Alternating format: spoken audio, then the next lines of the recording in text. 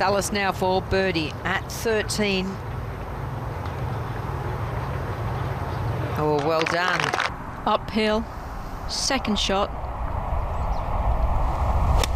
Doesn't have much green to work with. Distance control so important.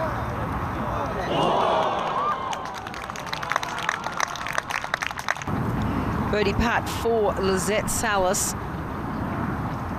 Well, to go to minus 15.